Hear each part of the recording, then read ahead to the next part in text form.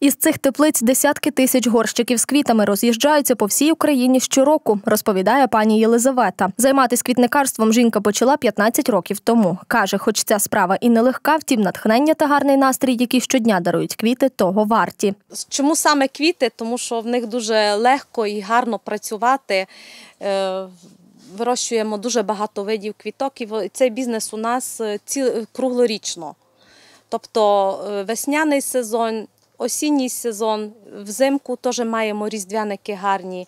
І на 8 березня, одним словом, круглий рік займаємося цим бізнесом. Видів квітів тут десятки. Вони розцвітають залежно від сезону. Тож ці теплиці у будь-яку пору року виглядають святково. На весну ми вирощуємо в балконі однорічні однорітні квіти, то сульфінії, петунії, е, вербени, агератум, гвоздики. Ой, перелік дуже, дуже великий. Е, Потім на, на осінь хризантеми вирощуємо, вереск вирощуємо. Потім на зиму, я вже казала, різдвяна зірка в нас це кламен, і на весну, на 8 березня від тюльпанів. Там перелік теж дуже великий. Є тут квіти, які можна посадити не лише на балконі, але й на клумбі біля дому. Найбільшим попитом серед покупців користуються петунії та бегонії. Це бегонія вічно квітуча, вона дуже популярна квітка. Її висаджують як і в балконні ящики, так і на клумби. У великих городах у більшості е, на клумби люблять її висаджувати. Як вічно квітуча, вона аж до морозів цвіте. Щоб квітам було комфортно, температура в теплицях взимку не опускається нижче 18 градусів. У кожній теплиці створюють свій особливий мікроклімат, який підходить для певного виду рослин. Приміром, у цьому парнику ростуть п'ять видів квітів, які полюбляють однакові умови.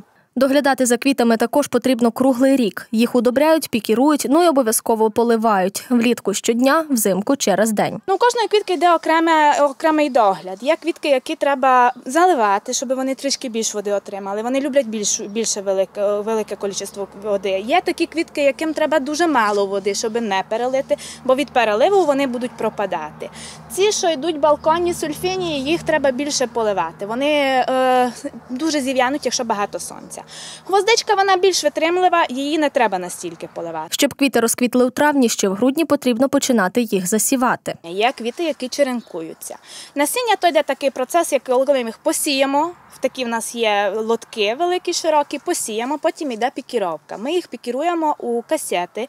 Із 100 штук вони бувають, і 288, 84. Кожен, е, кожна касетка різного розміру йде. Є такі квіти, наприклад, як ця гвоздичка, вона черенком розплодується. Її треба черенкувати. Вона не сіється, але е, черенком. На щастя, не вплинули на попит продукції карантинні обмеження, хоч з цього приводу і були побоювання. На початку було дуже е, боялися, що що буде е, з карантином, ну, пове- ну, в зв'язку з карантином. Але як почали е, дали дозвіл на торгівлю сільськогосподарських е, сільськогосподарської продукції, та було вже набагато легше. Вже почали приїжджати, особливо е, з України, які також мають теплиці на дорощування, брали квіти.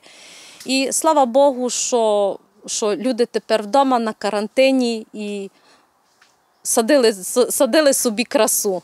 Зараз сезон весняних балконних квітів вже завершується. Тож, коли усі рослини розпродадуть, тут почнуть готуватись вже до наступного.